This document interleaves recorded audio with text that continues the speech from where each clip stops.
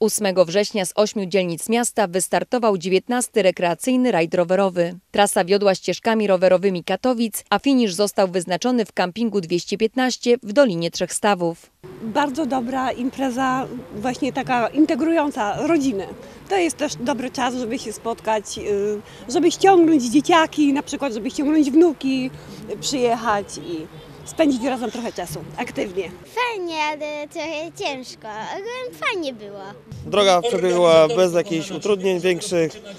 Myślę, że jest to, nas, jest to nasz pierwszy udział w takim rajdzie e, rekreacyjnym, także jesteśmy jak najbardziej zadowoleni i myślę, że w przyszłym roku też weźmiemy udział. Wspaniała impreza z wielką tradycją, bo już prawie 20-letnią, w tym roku to 19 edycja.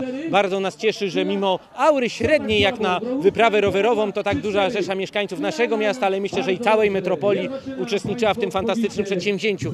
Dzięki temu możemy nie tylko dobrze się bawić i rozwijać się rekreacyjnie, ale też mieć wielką atrakcję z przejechania miastem Katowice i oglądania, jak przepięknie miasto się zmienia. Kapryśna pogoda tego dnia nie mogła popsuć humorów katowickich rowerzystów. Zawsze się można odpowiednio ubrać, pogoda nie ma żadnego znaczenia, ważne jest towarzystwo, y, w którym jesteśmy, cel właściwie, do, do którego zmierzamy, także pogoda znaczenia nie ma żadnego. Na początku dnia nie zapowiadało się to dobrze, ale pojechaliśmy mimo to i jesteśmy zadowoleni. Na mecie na wszystkich uczestników rajdu czekał piknik i rozlosowanie nagród w różnych kategoriach, między innymi dla najstarszego uczestnika czy najliczniejszej rodziny. My jesteśmy y, zawsze, nie wiem od ilu lat, y, na, raj, na rajdzie. No jest fantastycznie. No, trochę pogoda nie dopisała, ale w sumie jest okej. Bardzo dobrze się jeździ.